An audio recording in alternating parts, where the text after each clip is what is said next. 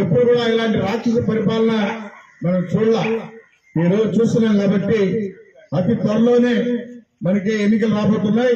అందరూ కూడా సైనికులు కూడా పోరాడి మనం మళ్ళా మంచి ముఖ్యమంత్రిని ఈ దేశ ఈ రాష్ట్రానికి ఎవరైతే సేవ చేసి అభివృద్ధి చేశారో అదే ముఖ్యమంత్రి మళ్ళా ముఖ్యమంత్రి అవ్వాలని చెప్పని కోరుకుంటూ మీ అందరూ కూడా పేరు పేరున నా హృదయపూర్వక ధన్యవాదాలు जय जन्मभूमि बोलो भारत माता की जय बोलो भारत माता की जय बोलो भारत माता की जय